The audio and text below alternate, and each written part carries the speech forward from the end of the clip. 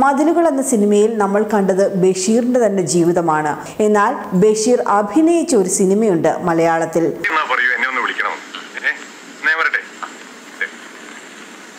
July അഞ്ച് വൈക്കം മുഹമ്മദ് ബഷീറിന്റെ ഓർമ്മ ദിനം വ്യവസ്ഥാപിത സങ്കല്പങ്ങൾക്ക് പുറം തിരിഞ്ഞു നിന്ന് അക്ഷരങ്ങൾ കൊണ്ടും വാക്കുകൾ കൊണ്ടും മലയാള സാഹിത്യ ഭൂമികയിൽ സ്വന്തം ഇരിപ്പിടം സ്വയം നിർമ്മിച്ച കഥകളുടെ സുൽത്താൻ. പാമ്പിനെയും പഴുതാരയെയും പോലും ഉപദ്രവിക്കരുതെന്ന് പറഞ്ഞ് പ്രകൃതിയെ സ്നേഹിച്ച മനുഷ്യൻ. അസാധാരണമായ സംഭവങ്ങളൊന്നും ബഷീറിന്റെ എഴുത്തുകളിലില്ല. ലളിതമായ ആഖ്യാന ശൈലി അനുഭവങ്ങളുടെ വേവും ചൂടുമുള്ള വിവരണങ്ങൾ ഒരുപാട് ചിരിയും ഒരു തുള്ളി കണ്ണീരുമാണ് ബഷീർ. സാഹിത്യ ലോകത്തിന് മാത്രമല്ല സിനിമാ ലോകത്തിനും പ്രിയപ്പെട്ടവനായിരുന്നു ബേപ്പൂർ സുൽത്താൻ.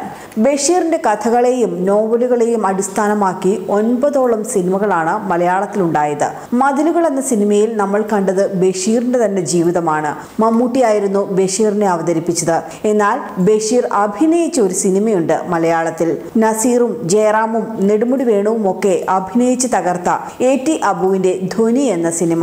സ്ഥിരം കാണുന്ന വെള്ള ജുബയിലും വെള്ള മുണ്ടിലും തന്നെയാണ് സിനിമയിലും ബഷീർ പ്രത്യക്ഷപ്പെട്ടത്. രണ്ടോ മൂന്നോ ഡയലോഗ് മാത്രമുള്ള ഒരു ഗസ്റ്റ് റോൾ. നെടുമുടി വേണു അവതരിപ്പിക്കുന്ന കഥാപാത്രത്തെ കാണാൻ ആശുപത്രിയിൽ എത്തുന്നതായാണ് scene. Prem Nazir Jayaram Nedumudi Venu Jayabharathi Shobana Suresh Gopi K P Umar Thilakan Oduvil Unnikrishnan Rohini Innocent V K Sreeraman Sabitha Anand അങ്ങനെ ഒരു പ്രമുഖ താരനിര തന്നെയായിരുന്നു ധ്വനിയിൽ